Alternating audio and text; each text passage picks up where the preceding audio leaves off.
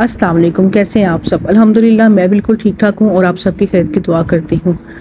काफ़ी दिनों से जी, मैं व्लॉग नहीं डाल रही क्योंकि हमारे घर में हो रहा है पेंट और बस इस वजह से जो ना व्लॉग बनाना बहुत मुश्किल होता है क्योंकि आपको पता है कि घरों में बहुत ज़्यादा काम होते हैं और कामों के साथ साथ जो सा सारा दिन जो सा वो रोज़ा होता है। रोज़े के बाद, अफ्तारी के बाद हम लोग अपना काम शाम करते हैं, फिर थक जाते हैं और फिर उसके बाद सो जाते हैं। बस यही रूटीन चल रही है हम लोगों की। तो आज मैं जा रही हूँ अपनी अम्मी की तरफ़, मेरी भांजे की बर्थडे है। तो उसकी जो उनसे नाफ्तारी आज उनकी तरफ़ है हमारी। तो चलें जी, मैं आपको जाके वहाँ पे दिखाती हूँ। और मौसम देखें, बड़ा अच्छा हो रहा है। ये दिन जो सा है ना, ये है जी संडे का दिन। ये संडे वाले दिन की वीडियो मैंने बनाई हुई है। थोड़े से सीन मैंने कैप्चर किए हुए हैं कि मैं कहा जैसे जैसे मुझे टाइम मिलेगा तो मैं आप लोगों से जो है वो शेयर करूँगी। और उसके बाद जो सा जी, बस, अफ्तारी का टाइम बिल्कुल करीब करीब था।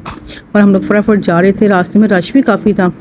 तो फिर जहाँ पे ट्रैफ़िक थोड़ी खुली मिली, वहाँ पे हम लोगों ने गाड़ी की स्पीड तेज़ कर दी कि हम लोग फटाफट अम्मी की तरफ़ पहुँचे ताकि अफ्तारी से पहले पहले हम उनके घर पहुँच जाएँ और, उस पर पार्टिसिपेट करें। बस जी। ये देखिए, मौसम बहुत अच्छा हो रहा था। बड़ी ठंडी हवा चल रही थी।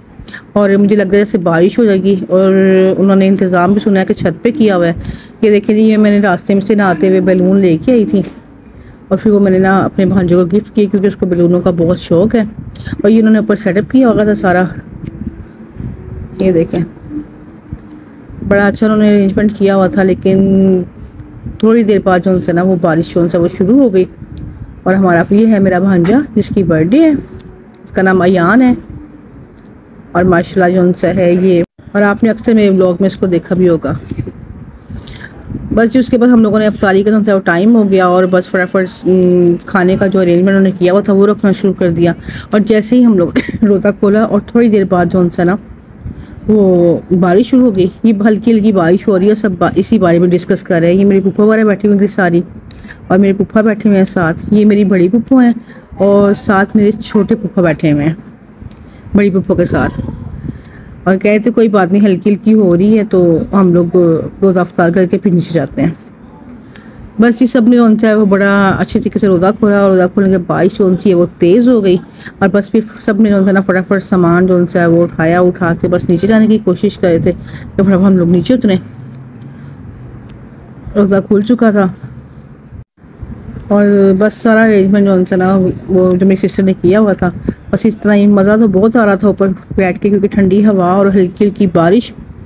और अभी तक तो बारिश जो है वो हल्की थी। तो फिर सब यही कह दे कि चलो खाना जाके नीचे जाके खाएँगे। और अभी बस हम लोग अफ्तारी कर लेते हैं और नमाज़ पढ़ते हैं। उसके बाद हम लोग आगे नीचे बारिश काफ़ी तेज़ हो गई थी। और नीचे आके जो है ना हम लोगों ने केक कट किया। और अयान बैठा हुआ अपनी पुप्पो की अपनी दादों की गोदी में। और दादो जो सी हैं वो हमारी बड़ी पुप्पो है। और साथ में छोटी पुप्पो बैठी हुई हैं। और बस, माशाल्लाह, यान जो उनसे वो दस साल का हो गया। अल्लाह उसको लंबी ज़िंदगी दे, सेहत दे, तंदुरुस्ती दे, सलामत रहे हमेशा। और बस जी, सबने फिर केक कट किया, उसके बाद हम लोगों ने चाय पी। और बड़े अच्छे तरीके से जो था ना बर्थडे हमारी सेलिब्रेट हुई। बस काफ़ी अर्से के बाद हम लोग सारे इकट्ठे हुए, फिर हम लोगों ने खूब गपशप लगाई, बैठ के बातें शातें की, और भी हम लोगों को जल्दी थी कि हम लोगों ने घर भी जाना है और घर जाके जो बाकी काम हम लोग छोड़ के आए हुए हैं, वो भी हम लोगों ने करना था। बस उसके बाद मैंने कोई वीडियो नहीं बनाई, फिर अगले दिन सुबह की वीडियो है। ये अफ्तारी के लिए अब बन रहा था जी गोभी गोश्त। तो मैंने कहा, चले अफ्तारी बाद में शेयर करूँगी, देखते हैं सालन में क्या बन रहा है। सालन में हम बना रहे थे गोभी गोश्त, और गोभी जो है सबसे बड़े मैंने चिकन और लहसन, प्याज, अदरक, टमाटर डाल कर चिकन को ऊपर रख दिया। और उसके बाद उसमें जो है ना मैंने थोड़ा सा ऑयल डाला ऑयल डालने के बाद इसमें मैंने गोभी डाली और गोभी डाल के जो मैं इसको भून रही थी। बस क्योंकि अफ्तारी में जो है ना बच्चे कभी कहते हैं कि जी शोरबे वाला सालन हो कभी कहते हैं खुश्क सालन हो और कभी हम लोग बाज़ार से चने भी मंगवा लेते हैं। लेकिन आज दिल करा था गोभी गोश्त खाने का। तो मैंने कहा चल फटाफट ना जो सा थोड़ी सी गोभी पड़ी हुई थी तो मैंने कहा फटाफट गोभी गोश्त बना लेते हैं और बना के जो सा ना वो खाते हैं। ये देखें जी मैं आपको दिखा रही हूँ कि वो बाहर जो सा आदमी सेन को पेंट कर रहा था। तो काफ़ी गंद मचा हुआ है पूरे घर में। हर चीज़ जो सा वो उल्ट पुलट हुई हुई है। ऊपर नीचे, क्योंकि पूरे घर का ही पेंट हो रहा था, ऊपर नीचे का सारा ही ना। बस ये देखें फटाफट मैं जो सा गोभी बना रही हूँ। गोभी की खुशबू बड़ी मज़े की आई थी। और रोज़े में दिल कर रहा था कि इसको मैं खाऊं, लेकिन ना इन अफ्तारी करके उसके बाद मैं जो सा ना कि ये गोभी गोश्त खाऊँगी। क्योंकि काफ़ी रमज़ान में जो सा ना आप सिंपल हांडी का जो सी वो बड़ी मुश्किल से ही बनती हैं। कम ही खाना बनता है, क्योंकि बच्चे जो से वो रोल, समोसे, पकौड़े, चिकन, वही पसंद करते हैं। उसके बाद हम लोगों ने शुरू कर दी अफ्तारी का अरेंजमेंट होना शुरू इंतज़ाम करना शुरू कर दिया। अफ्तारी में हम बना रहे हैं गोल आलू वाले पकौड़े और साथ में मेरे ख्याल से रोल बनाए हैं हम लोगों ने। और साथ में जी थोड़ी सी बच्चों ने कहा, हम लोगों ने गोभी नहीं खानी, फिर मैंने साथ में थोड़ी सी दाल बनाई। और अफ्तारी का कौन सा टाइम हो चुका था फ्रूट चाट बनी अफ्तारी में।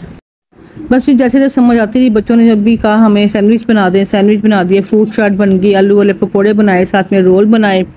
और बस टाइम जो उनसे, वो फटाफट अफ्तारी का जो हो जाता है। आपको पता है, खाना भी रेडी नहीं होता तो अफ्तारी का जो सा खुल जाता है। बस फिर हम लोगों ने बैठे फटाफट टेबल लगाई और टेबल लगा के बच्चों ने सबने बैठ के मज़े से रोज़ा खोला। और रोज़ा खोलने के बाद जो उनसे इन ये मेरे दो दिन का लोग उनसे मैं आपसे शेयर कर रही हूँ। अभी मैं खाना खा ही रही थी तो मेरी फ्रेंड ने भेजे चावल, उसने बनाई थी छोलिए आलू और कीमे की खिचड़ी। बहुत मज़े की बनी हुई थी। मैंने बड़े मज़े से खाई और मेरी फ्रेंड का भी बहुत बहुत शुक्रिया, क्योंकि उसे पता है मुझे गर्म गर्म चावल पसंद है तो उसने उनसे ना फटाफट जब जैसे चावल चूल्हे से उतारे और साथ ही रोदा खुल गया तो उसने मुझे चावल जो उनसे ना फटाफट भेजे। और मैंने खाया, बड़ा मुझे बहुत मज़ा आया खा के। आज यानी कि गोभी भी मेरे पसंद की थी और साथ में फिर चावल भी मेरे पसंद के आ गए। फिर मैं कहा, चाय मैं बाद में पीऊँगी। चाय मेरे पास ही पड़ी हुई है। मैं कहा, चाय मैं बाद में पीऊँगी। पहले मैं जो सा चावल खाती हूँ और उसके बाद फिर हम चाय पीऊँगी। चलें जी, उम्मीद है कि आपको मेरा दो दिन का व्लॉग जो है वो अच्छा लगा होगा। इन मिलूँगी आपसे नेक्स्ट व्लॉग में। दुआओं में याद रखिएगा, अपना ख्याल रखिएगा। तब तक के लिए अल्लाह हाफिज़। मेरे चैनल को लाइक शेयर एंड सब्सक्राइब ज़रूर कीजिएगा और दुआओं में याद रखिएगा। बस